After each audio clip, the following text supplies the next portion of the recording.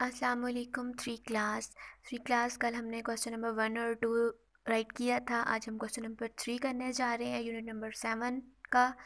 Our question number three is define water cycle ठीक है? Define water cycle water cycle क्या है? Rain falls from the sky rain falls from the sky and start their life on to the earth means कि rainfall जब होता है sky से तो वो अपनी जो लाइफ है अर्थ पे स्टार्ट कर देता है।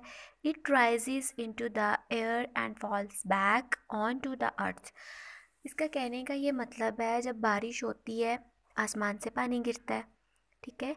बारिश हो रही है, पानी गिर रहा है, और वो भी कहाँ आके गिरता है? वो ज़मीन पे गिरता है अर्थ पे गिरता है। उसके बाद क्या होता है? सनलाइट जब होती है, धूप होती है, उसकी वजह से, हीट की वजह से जो वाटर है, वो जो है, वो राइज़ होता है। मतलब कि वाटर वेपर्स की फॉर्म में वाटर वेपर्स की फॉर्म में दोबारा से वो आसमान में चला जाता है, स्काई में चला जाके क्लाउड्स में मिक्स हो जाता है, ठीक है?